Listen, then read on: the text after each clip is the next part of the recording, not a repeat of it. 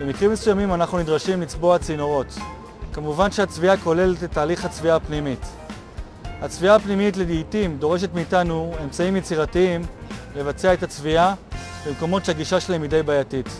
בתהליך צביעת פנים הצינור אנחנו בעצם רואים שישנו מנגנון שמורה לרובוט מתי להתחיל לבצע את תהליך הצביעה באופן אוטומטי וכאשר מסתיים בעצם ההרצה של הצינור על הפס הוא מורה לו להפסיק לצבוע.